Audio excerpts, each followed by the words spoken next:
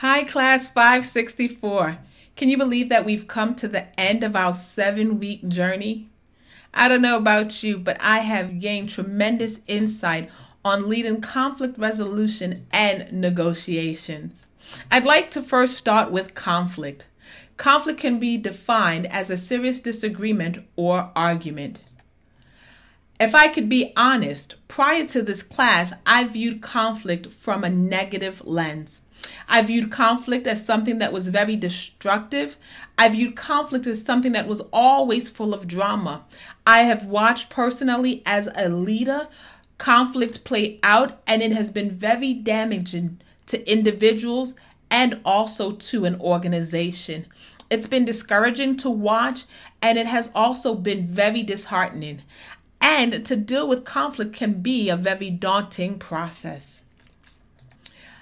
I can tell you during this class what was so profound and what stood out to me, which really speaks true to who I am as a leader, is that I tend to avoid conflict.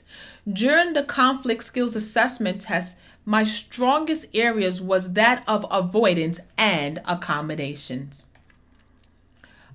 For many years as a leader, I avoided conflict because I am non confrontational and I like to keep the peace.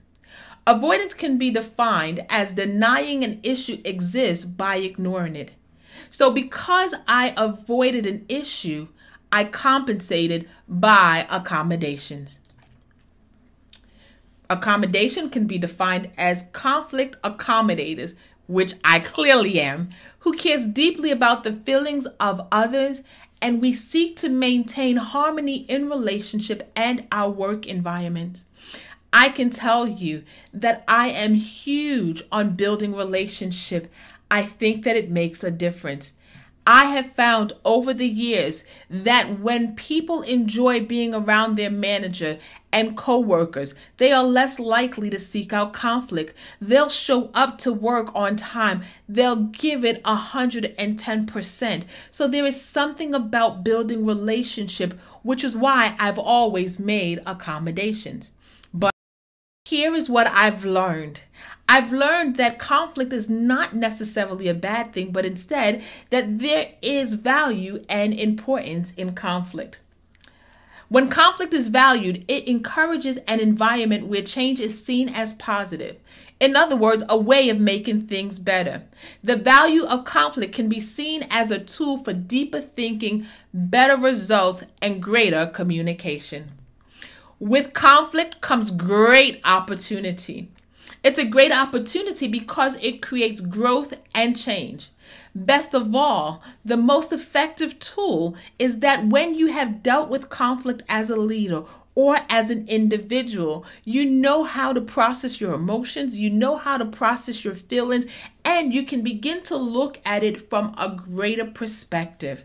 So I know that I started off my presentation saying conflict is negative. I've avoided it for many years. And then I said it's a great opportunity. But here's what changed my perspective has changed on how I view conflict. Prior to this class, I saw conflict from a narrow lens. And so, because I viewed conflict from a narrow lens, I only ever got a snapshot. But over these last seven weeks, as I learned and as I read and as I studied, my lens became broader in the sense of conflict. And so, no longer do I see a snapshot of conflict, but now I see the whole picture. I love what the late President Ronald Reagan said. He uttered these words Peace is not the absence of conflict, it is the ability to handle conflict by peaceful means. So, I can tell you that going forward, now having a better understanding of conflict, my style will most likely consist of compromise and collaboration. Compromise because it is finding a middle ground to reach a solution. It is an attempt to balance the need. And collaboration because working together is vital to achieve outcomes that meet the needs of others. So, Every leader should always have strategies when dealing with conflict. So here are some of mine. I like to first clarify the source of the conflict, meaning I want to go to the individuals who have the conflict. And I want to make sure that I listen actively to everyone. Conflict is inevitable, but you want to make sure that you listen to the individuals as they share their heart. And then, once I listen and have a greater understanding, I now want to investigate the situation. Why? To show fair treatment. And once I've investigated, now I want to determine a goal on how we can work together as a team. How can we build that relationship and create cohesiveness? Once I've established that, then I want to utilize some of the tools in my toolbox, right? Tools that will help me assess workplace conflict. And one of the major tools that I have used in the last few weeks, believe it or not, is that I've learned to stay calm. Why? Because it has helped me to avoid escalation. And if you can remain calm, it causes you to step back and look at the big picture.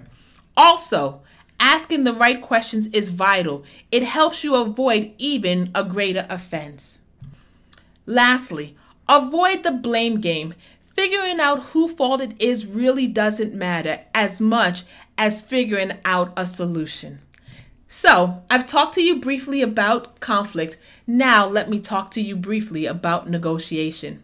Negotiation is defined as a discussion aimed at reaching an agreement. Negotiation is about creativity and not compromise. So, here is my takeaway for negotiation my view of negotiation has changed drastically because I no longer see it as who wins, but now I see it as an opportunity to be able to reach a common goal. I see it as an opportunity to build opposed to tear down. I see it as an opportunity where two different companies, individuals can come together to create a common goal for the benefit of everyone. So, as I come to a close, here is my conclusion perspective matters. Change your view, and you can change the outcome. Conflict is necessary and needed, and negotiation is beneficial. In the words of Bugs Bunny, that's all, folks.